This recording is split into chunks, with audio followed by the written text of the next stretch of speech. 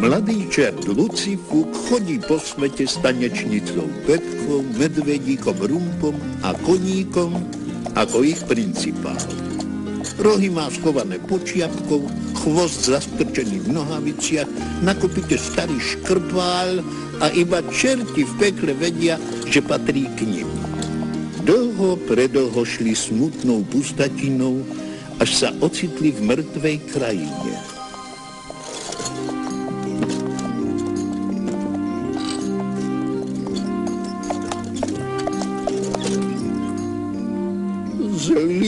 Drak sa nám usadil za humnami. Svojim ohňom spaluje celý kraj. Na staré kolená nemám kam hlavu skloniť.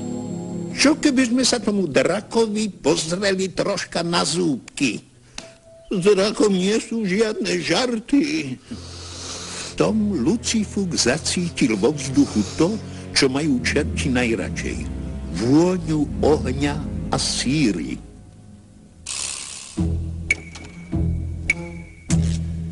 Keď všetci zaspali, odletel Lucifuk do pekla po pomoc.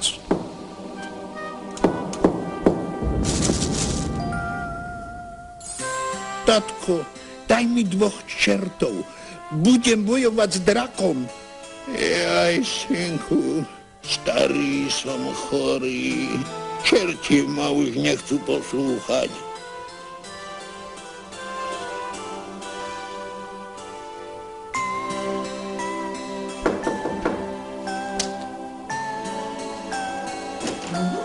Lucifuk popýtal o radu starého učiteľa. Čerči ani pod kotle poriadne neprikladajú. Kde by ti ešte v boji s drakom pomáhali? Ale čo si ti predsa len poviem?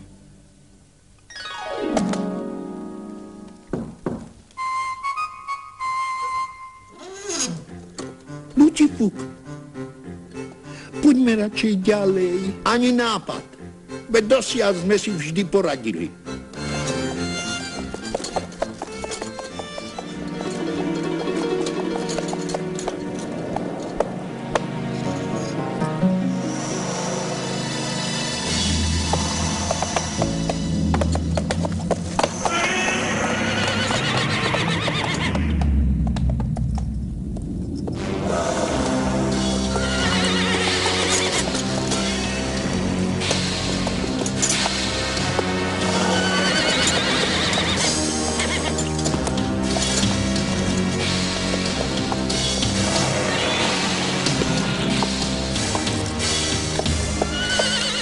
Lucifuk predstieral, že sa tiež bojí, ale nevydržal dlho.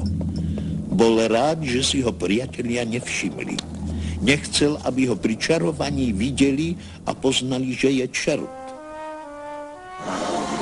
Kdeže na čerta s ohňom?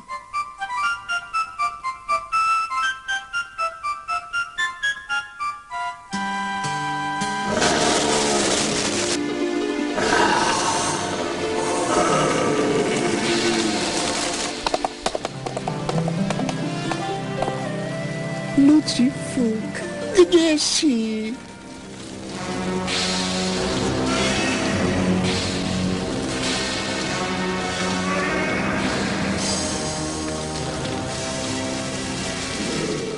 Musíme Lucifukovi pomôcť. I keď sa báli, všetci s Betkou súhlasili. Lucifuk chcel, tak ako mu radil učiteľ, najskôr drakovi zahasiť oheň. Kúzlo sa mu podarilo.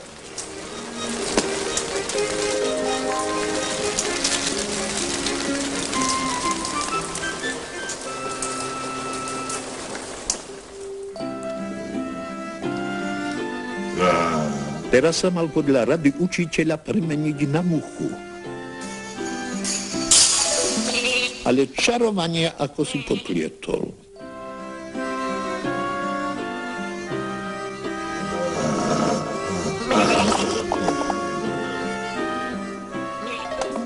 Konečne si Lucifuk spomenul ako na to.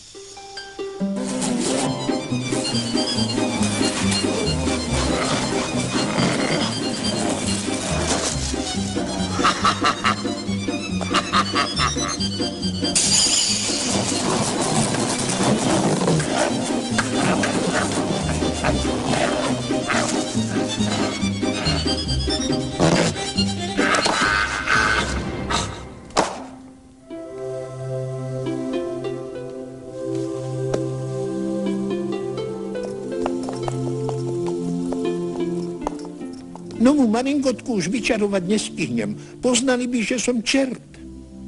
Betka nemohla pochopiť, ako mohol malý Lucifúk premôcť tak veľkého draka. Čo tam po maringotke?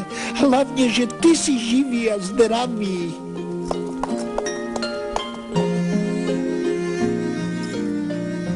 A tak sa Lucifúk, o ktorom nikto nevedel, že je to syn samotného Lucifera, vydal stanočnicou Betkou, medveďom Rumpom a koníkom na ďalšiu cestu bez maringotky. Čo ich na púti svetom ešte asi čaká?